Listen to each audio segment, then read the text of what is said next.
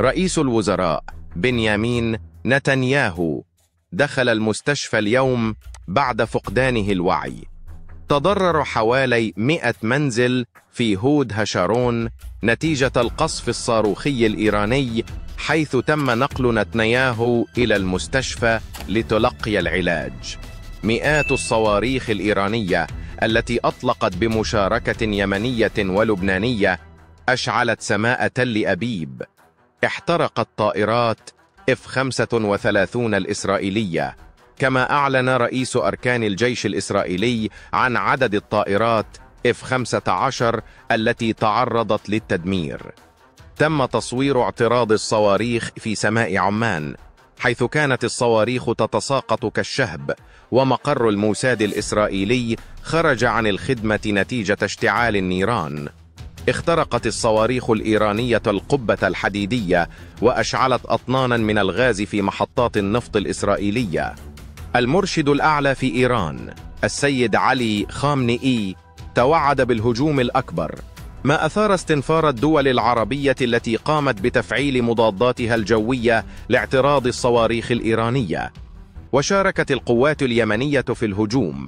معلنة أهدافها ومؤكدة استعداد جماعة أنصار الله الحوثيين لتوسيع العمليات العسكرية ضد إسرائيل وحلفائها في المنطقة. القوة الصاروخية اليمنية نفذت عملية عسكرية استهدفت مواقع عسكرية في فلسطين المحتلة بثلاثة صواريخ مجنحة من نوع قدس خز 400 ورغم تعرضهم لأكثر من 400 ألف غارة جوية أكد قادة جيش صنعاء استعدادهم لشن هجوم بري في إسرائيل بأكثر من مئة ألف جندي.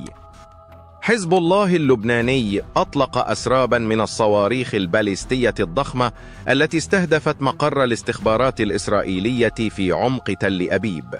وفي خضم التصعيد هدد الرئيس الروسي فلاديمير بوتين نتنياهو وأمره بالانسحاب الفوري من الجنوب اللبناني. في مكالمة هاتفية تعرض نتنياهو لتوبيخ من الرئيس الروسي حيث طلب منه وقف العمليات العسكرية. أفادت الإذاعة الإسرائيلية بأن إيران أطلقت أكثر من 250 صاروخا بليستيا خلال نصف ساعة على إسرائيل واستهدفت العديد من المناطق. وطلبت وزارة الخارجية الإسرائيلية من السكان التوجه إلى الملاجئ.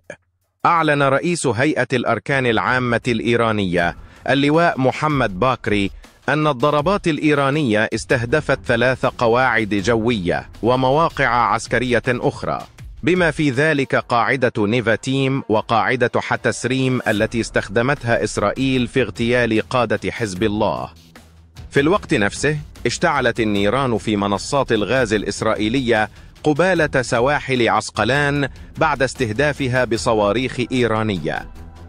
أكدت إيران أنها ستواصل استهداف المنشآت الاقتصادية الإسرائيلية لإلحاق أكبر قدر من الخسائر.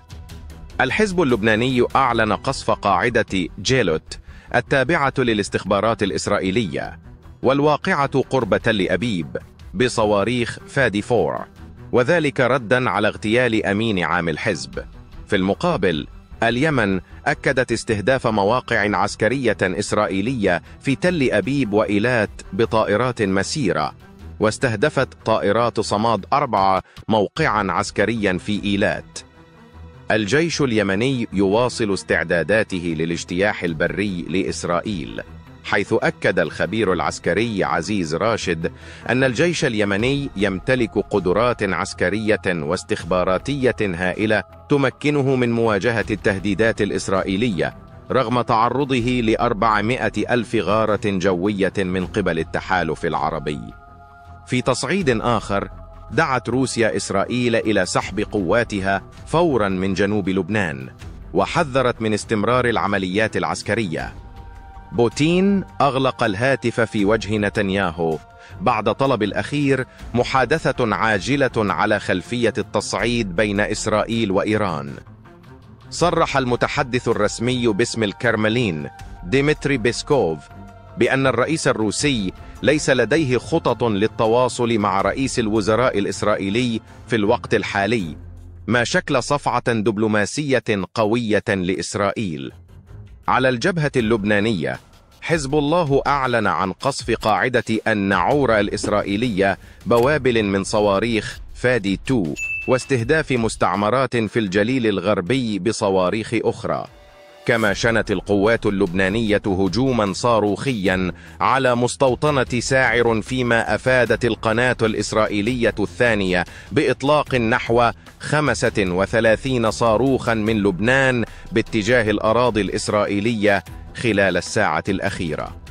على الجانب اليمني أفادت القوات المسلحة اليمنية بإطلاق صاروخ باليستي باتجاه تل أبيب. بالتزامن مع التوغل البري الإسرائيلي في لبنان. اشتبكت منظومة الدفاع الجوي الإسرائيلية مع طائرات مسيرة فوق البحر الأبيض المتوسط بينما أكد الجيش الإسرائيلي تعرضه لهجوم صاروخي من اليمن حيث سقطت طائرات بدون طيار في مناطق قريبة من تل أبيب.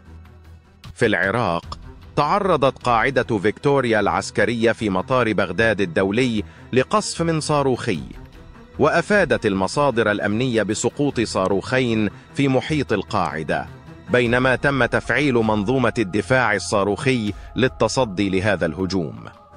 قاعدة فيكتوريا تضم قوات دولية من بينها قوات أمريكية ما يزيد من حدة التوتر الإقليمي. الجيش الفرنسي دخل على خط المواجهة بإرسال سفينة حربية إلى السواحل اللبنانية كإجراء احترازي. وأكدت هيئة الأركان الفرنسية أن السفينة ستصل إلى المنطقة في غضون أيام قليلة ما يعكس استعداد فرنسا للتدخل في حال تصاعدت الأحداث بشكل أكبر.